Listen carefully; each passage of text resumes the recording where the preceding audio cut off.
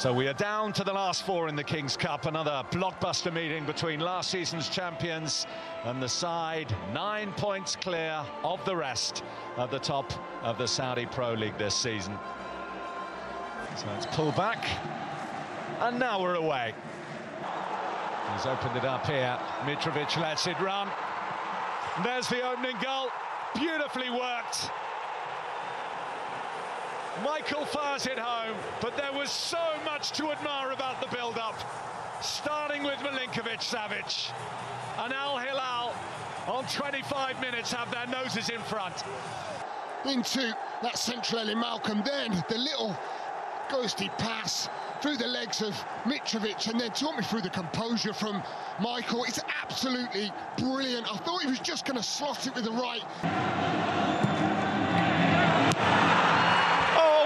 Finish! Abderrazak Hamdallah. It's the purchase correctly. This is going to be tight again. From that angle, it looks like he might just have been leaning offside.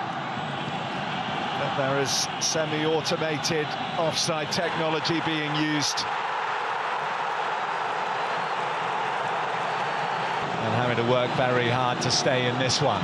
But they've got an option here. They've got a real option here and they've got a goal. This side is made of such character.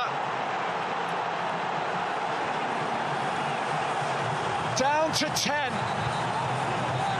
And a super little pass inside it was from Said Abdul Hamid has run the whole length of the pitch, kept his composure, surely tired legs, but what a finish that is.